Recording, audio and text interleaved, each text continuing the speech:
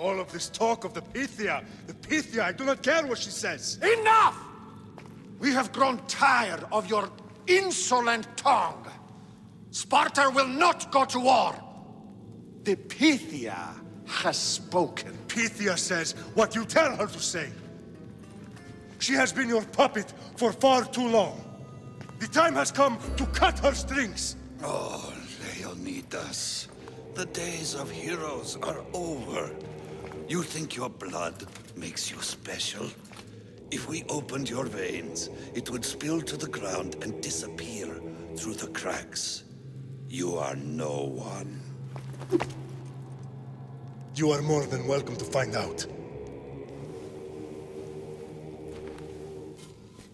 Your fate is sealed, son of the lion.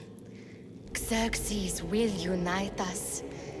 He will bring order to chaos. Divide the Pythia and everyone you love. Everything you stand for will perish.